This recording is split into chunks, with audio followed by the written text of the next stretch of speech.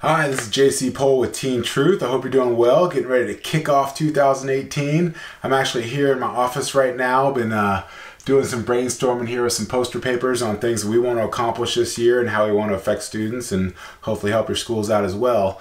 Uh, but one thing that we want to do this year, a little bit different than years past, was really take the time to recognize some of the schools that we met on the road that are doing just such a wonderful job. Um, as you can imagine with Teen Truth, uh, we're on many different campuses across the country, uh, sometimes in other countries as well. Um, you know, visiting schools, meeting administrators, meeting teachers, meeting counselors, meeting students, of course course. And uh, there's all kinds of different experiences that come along with that. And sometimes on the road, since we're visiting so many schools, you start to really see, you know, which schools are doing things really well, maybe which schools could use a little bit more help. So we just want to take some time uh, here at the beginning of 2018 to recognize the schools we visited in 2017 that are just kicking some butt. Uh, so we, we made some awards for them and I just wanted to announce them uh, here on this video. So if you hear your name on this video, uh, you know, congratulations, you've been working really hard. And um, obviously if you didn't hear your name on this video, it doesn't mean you're not working hard, you're not doing a great job. Uh, we just wanted to uh, make sure we recognize some of the schools that were just doing amazing work. So uh, the first one that I want to start off with, and I, I got to be careful with these because they're actually glass, um, is Chris Hollister in Chaffey uh, Unified High School District. Uh, those of you that know Chris, uh, he's an amazing leader. He's a former principal. He's now an assistant superintendent there at the district.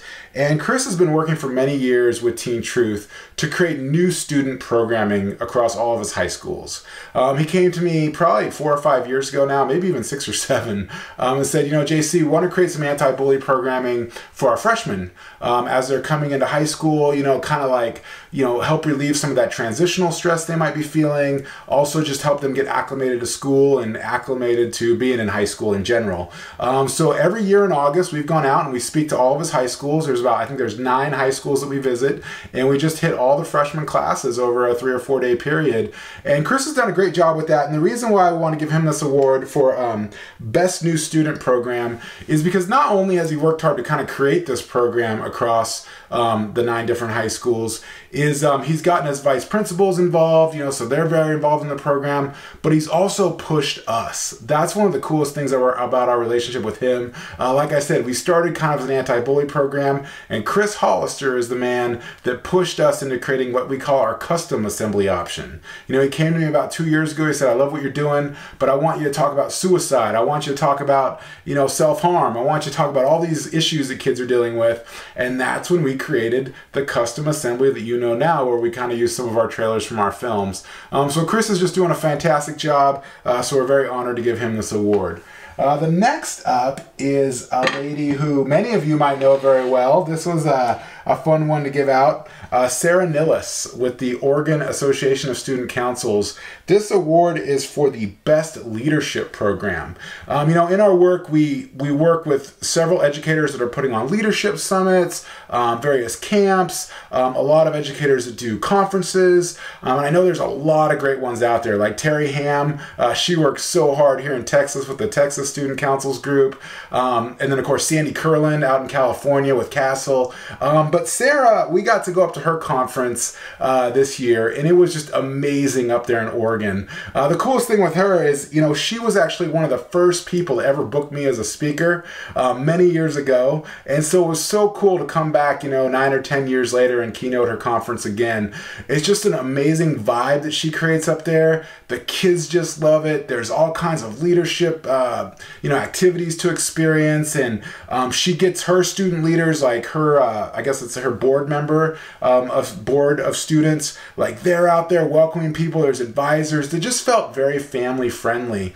Um, so we were honored to be a part of that family uh, uh, for the day or two that we went up there. Um, I was actually lucky enough to uh, not convince Sarah. Sarah asked actually if we could bring Arjun up. Many of you know Arjun's story from uh, some of the Teen Truth assemblies that we've uh, uh, that we feature. And Arjun um, actually went to the University of Oregon and so it's pretty special for him to come up there and speak to the students up there. He was like a rock star. Uh, they gave he gave autographs and everything. So you know, Sarah, we really appreciate your support. We appreciate everything that you're doing for students. We really appreciate everything that you're doing for the state of Oregon, uh, just pushing student activities up there and pushing school culture. Um, you might realize that her name is spelled wrong on here, Sarah with an H. I know it's it doesn't have an H. Um, uh, so we have them making a new award for you uh, that we'll definitely send out to you uh, once we get it here. Um, another one that I want to recognize is Case for Kids. Case for Kids has been our client for a few years now. Um, Michelle Amos um, had started us down there in their after school program, bringing our Rising Up curriculum uh, to their schools. And as you know, Rising Up is a peer to peer based program where we're teaching social emotional skills. It was designed specifically for school counselors to use to extend their guidance efforts on campus. But Michelle and her crew really latched on to using it as an after school program. Um, just giving kids new leadership opportunities in the after school program and allowing them to teach social emotional uh, skills. Uh, Michelle since moved on from CASE, but Tony Candice and Jess- Jesselyn Allen are there and they are just an amazing supporter of our program program. And the reason we're giving them the Best After School Program Award is because honestly, of all the after school programs that we work with, they are just doing the best. They've got multiple schools running all kinds of different curriculum. Um, their site leaders and their teachers that they're working with are all jazzed up. They're all great people with great personalities, um, really awesome personalities, actually. So we're actually going down there next week. So I'll make sure to give them, that, uh, them this award in person. Um, but Jesselyn and Tony, you're doing a fabulous job there, and you're our 2017 after school program winner. Um, another person that we really wanted to recognize was Sarah Rukowski. Um, Sarah actually works at Lifetouch, and as you might have seen, uh, we had an amazing trip up to Alaska this year. Um, we've actually been to Alaska a few times over the over the time that Teen Truth's been around. Uh, but Sarah brought us up there. We went to multiple schools, middle schools and high schools. We hosted a leadership summit where we had kids come in from all over the all over Anchorage, um, and it was just you know for me, I get kind of lucky sometimes where I get to travel to these amazing places and meet these amazing people, and um, that was you know kind of a life changing experience for me. Um, going up there to Alaska was just it was so cool just to see the kids and the educators and uh, the close knit community that they have up there, but also to experience some of the nature they have up there and um, you know go hiking and things like that. And sarah took us out for dinner and lunch. And so you know lifetouch has been a tremendous partner of ours and we've worked with many of their uh, territories across the nation. Um, but sarah really put the extra effort in. And what i love so much about working with her and her team up there is that like they never left us alone all right? They went to every school with us. They were there shaking hands and giving high fives to the kids and helping the administrators. And they brought a cameraman with them to take pictures pictures, so schools had amazing pictures. She went all out to make sure that those schools knew that Lifetouch cared about their schools, their students, and ultimately their school culture. And that's why she has won our Best Community Partner Award. Um, so, Sarah, uh, congratulations on that. It's a huge honor to send this up to you. Um, we have three awards left, so I won't take up too much more of your time. Uh, but this was a, this was a special one that I wanted to give. Um, you know, as a counselor myself, uh, school counselors are very close to my heart.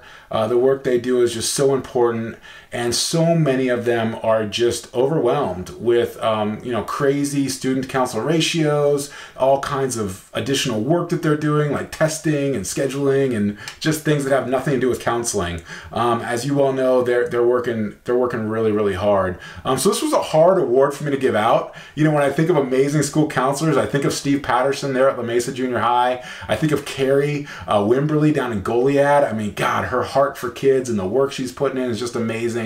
Um, but Pat Silva at the San Jose Charter Academy won our Best School Counseling Program Award. And the reason I gave it to Pat Silva is because her heart and her attitude, she is just such a warm and amazing person. Uh, she's running our Rising Up curriculum there. Uh, she's been running it for several years. Uh, they brought the Teen Truth Assemblies in. She really cares about school culture. But the coolest thing about Pat, and correct me if I'm wrong, Pat, but I believe this is what you told me. Her student to counselor ratio there is 1200 to 1. 1200 kids to one counselor. And I'll tell you this Pat reaches all of them. And she reaches them with an amazing heart and care and tenderness and approach. She's amazing. And so, Pat, you deserve this award. I know I've met many amazing school counselors on the road, but I want to take this time to recognize you uh, just for everything that you're doing and, and really, like I said, the heart that you bring and the smile that you bring. You know, when you told me it was 1200 to 1, it was like no problem for you, no skin off your back. You're going to get it done. And um, I know they have an amazing school there at San Jose Charter, great administration with Arlene Lemus and um, some of the other people that we've worked with there. But um, Pat really is a shining star and you deserve this award. The last two awards are kind of, I guess, the big the big awards. We created two of them. It's for best school culture.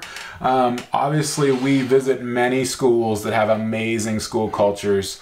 Um, schools that you just would never want to leave. That you just they're just vibrant and fun to be at, and they have great activity programs, and the kids are really involved. And when I think of that, when I think of an amazing activity program, when I think of a completely engaged campus, when I think of just everything from sports to academics to administration and staff and everything getting pulled together. The one school that I think of the most at the high school level, we made two of these, one for middle school, one for high school, is Granite Bay High School. Granite Bay High School is an amazing place. It's the kind of school that we would all want to work at, we would all want to send our kids to. And Tamara Givens there is the activity director. And Tamara, like Pat, has an amazing heart. She's got the most energy and just the, the best aura about her. And she just has an amazing activity program there. They've got clubs, they've got athletics, they've got everything that they're supporting from school spirit and student council. And she is running probably, don't quote me on this, but at least 100 kids, I bet, are in her leadership program. And her attitude that she brings to school, as well as her principal, Jennifer Layton, um, is just amazing. Uh, we got to participate in their kickoff day. It was this great day where we did an assembly and they had all kinds of activities on campus. There were no classes. It was just a day for all the kids to come on campus at the beginning of the school year and just experience everything that Granite Bay has to offer from barbecue to music uh, to everything. So, Jennifer and Tamra, um, it's an honor to give you this award. You truly have one of the best school cultures that we visited.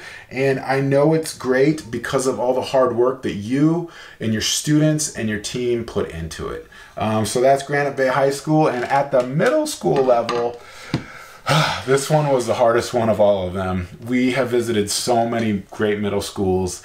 Um, you know, I think of Marshall Middle School and everything they do there in San Diego. Uh, some of the great middle schools we visited in Texas. You know, the cool thing about living in Texas is going out to these small towns where just the school's everything there, you know, and, and the high school and the middle school is just the center of, of everything in the town. And we've gone to some middle schools that are just so vibrant. And then, of course, La Mesa Junior High and many of the middle schools in the Hart District out there in California are amazing. There's a lot of them. All right, there's a lot of them.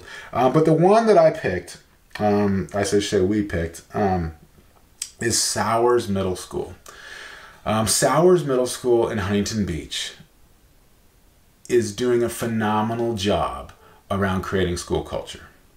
And the reason they're doing such a phenomenal job is because they care about it deeply. Okay, the principal there, John Ashby, he's actually new this year. Um, but Alicia Tardif, she is our client. She's the assistant principal there. She's been working with us for years. Um, Alicia knows our program, and um, she wor- has worked hard to bring us there every few years. You know, every two years or so, basically. And she got John to agree to, to bring us out there this year. Uh, but we had some hurdles we had to overcome.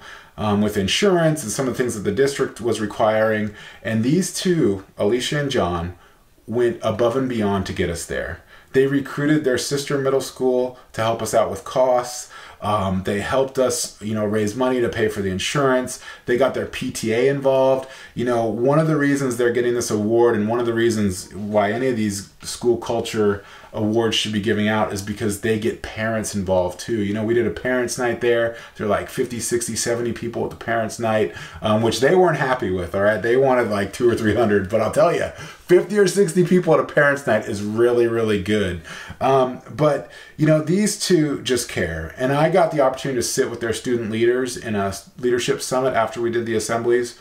They had me do three assemblies and one leadership summit. It was a long day, had to race to the airport. But the kids were just amazing. The discussion they had about social emotional issues, the heart they had um, to create activities and create solutions for these uh, issues was just amazing. And the coolest thing about Alicia and John is that they were there. They were there in the summit. They were there listening. They were there asking questions because they care about school culture. They care about everything that's happening on campus. And that's why I gave this, them this award. I'll be honest with you. I walk on a lot of campuses that have great school culture. And I meet a lot of administrators that care a lot about it. But Alicia and John, you are doing a fabulous job because I just can tell that it's in the fabric of your being that you want to create a great, connected, awesome school culture. Um, so that is it here. Uh, we are going to mail these awards out to you. Um, so you will receive them.